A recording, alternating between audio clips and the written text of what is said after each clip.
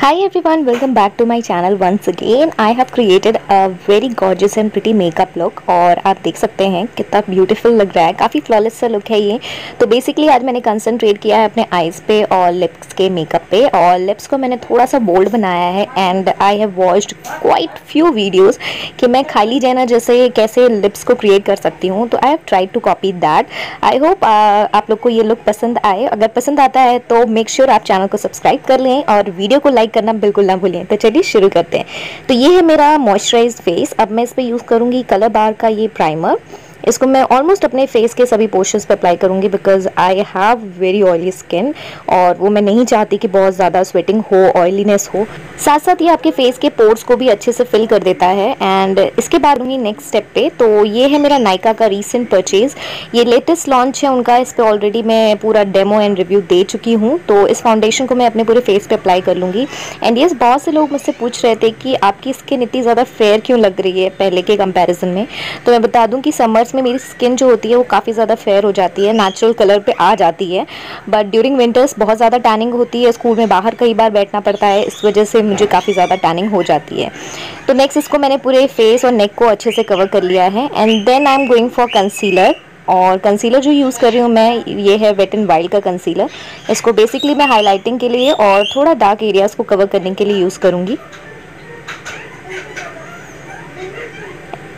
Eyelid के भी ऊपर अप्लाई किया है ताकि जो भी मैं आज मेकअप यूज़ करूँ जो भी कलर्स यूज़ करूँ बेसिकली आई शेडोज़ के लिए, वो काफ़ी ज़्यादा वाइब्रेंट नज़र आए। तो यहाँ पे मैं ब्रश की मदद से सब कुछ अच्छे से ब्लेंड आउट कर लूँगी। And you can see my face and after that to set everything मैं यहाँ पे कॉम्पैक्ट यूज़ कर रही हूँ।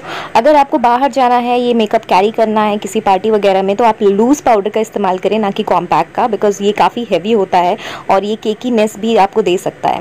नेक्स्ट मैं यहाँ पे अपना टूटा फूटा सा वोटबुक का ब्रॉन्जर पैलेट यूज़ कर रही हूँ फॉर ब्रॉन्जिंग और मैं लिक्विड कॉन्टोरिंग नहीं कर रही हूँ, मैं सीधे सीधे इसी ब्रॉन्ज़र को लेके अपने पूरे फेस के ऊपर अप्लाई कर लूँगी। एंड इससे काफ़ी अच्छी डेप्थ मिलेगी। अदरवाइज़ आपका पूरा फेस जो है वो फ्लैट नज़र आएगा। तो इसलिए थोड़ा सा नेचुरल लुक के लिए कॉन्टोरिंग बहुत ज़रूरी होती है। अगर आपके पास सेपरेट कोई कॉन्टोरिंग पैलेट नहीं है तो आप आई शेडो का भी इस्तेमाल कर सकते हैं। अपने स्किन से थोड़ा डार्क शेड लेके उससे कॉन्टोरिंग कर सकते हैं। नेक्स्ट मैं यहाँ पे खाइडी का ड्यू पैलेट ले रही हूँ, जिसे मैं ऑलमोस्ट भूल चुकी थी बिकॉज़ इसका पिगमेंटेशन बहुत बहुत गंदा है।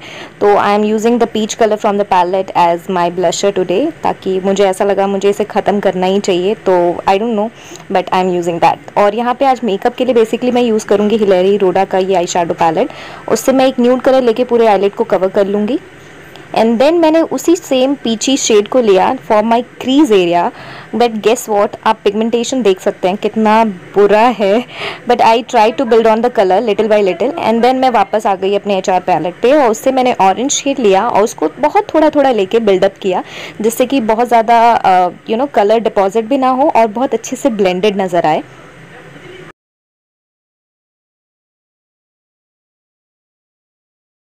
नेक्स्ट मैं यहाँ से ब्राउन शेड ले रही हूँ और उस ब्राउन शेड को वापस से आउटर कॉर्नर्स पे और क्रीज एरिया पे अप्लाई करूँगी और अच्छे से ब्लेंडिंग करूँगी ताकि सब दोनों कलर्स में अच्छे से मिक्स हो जाए। And one second I have taken the darkest brown shade from the palette जो कि आपको कलर में थोड़ा सा हो सकता है रेड दिख रहा हो। एंड आफ्टर दैट मैं जो ब्लैक के नियरेस्ट शेड है, उसको लेके अच्छे से वापस से टॉपअप करूँगी कलर के ऊपर तो इस तरह से काफ़ी ब्लेंडेड लगता है और सब कुछ बहुत एक दूसरे के अंदर मिला हुआ लगता है हार्शनेस नहीं लगती है। एंड फाइनली आई टेकन एक पर्पल सा शेड जो कि काफ़ी ग्लिटरी एंड शिमरी था, उसको मैं फिंगर की मदद से ही अपनी पूरी आईलेट पे अप्लाई किया।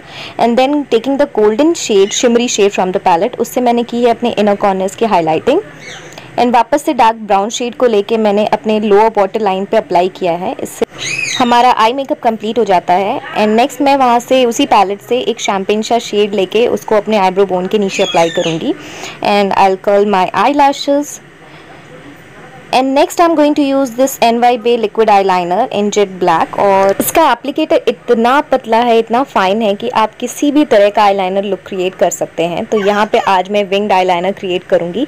बहुत धीरे धीरे मैंने कोशिश की because I know it is the most difficult part otherwise पूरा आई मेकअप ख़राब हो सकता है।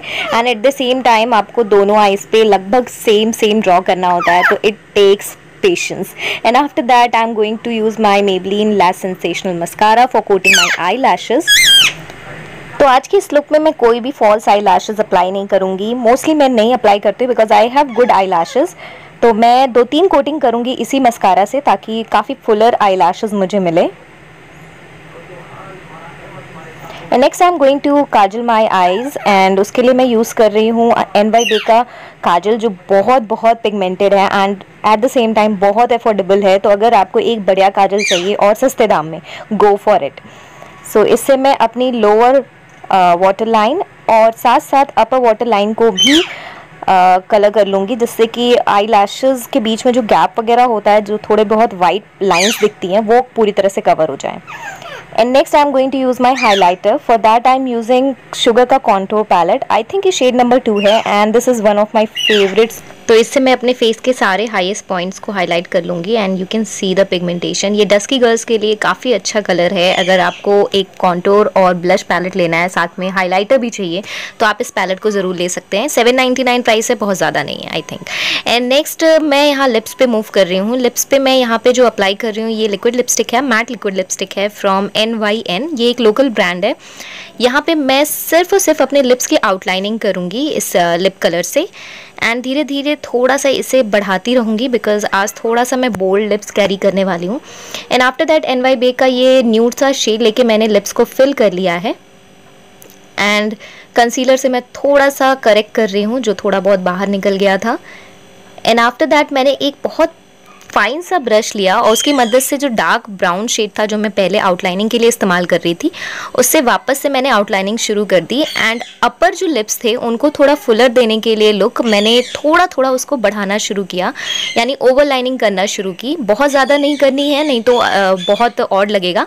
तो आपका जो नेचुरल लिप लाइन है, उससे ज़रा सा ऊपर आपको जाना है एंड आप देख सकते हैं कॉर्नर्स पे मैंने थोड़ा सा ट्विस्ट करके राउंड करने की कोशिश की है बिकॉज़ खाइली के जो लिप्स हैं उनके कुछ ऐसे ही हैं तो मैंने वैसे ही कॉपी करने की कोशिश की है।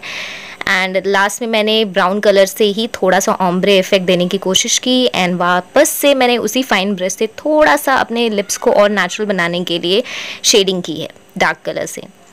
And after that I move on to my eyes and यहाँ पे मैं आज कोई नकली आई नहीं लगाने वाली हूँ because I have good eye तो मैंने सोचा क्यों ना तीन चार कोटिंग इसी मस्कारा की कर दी जाए। तो यहाँ पे मैंने आफ्टर दैट अपने आईब्रोज को फिल कर लिया। And you can see how gorgeous this look came out and I just love it और इसको आप किसी भी पार्टी में कैरी कर सकते हैं। आप वेस्टर्न इंडियन किसी भी आउटफिट के साथ कैरी कर सकते हैं। This is how it looks तो मिलती हूँ नेक्स्ट वीडियो में. Till then bye and take care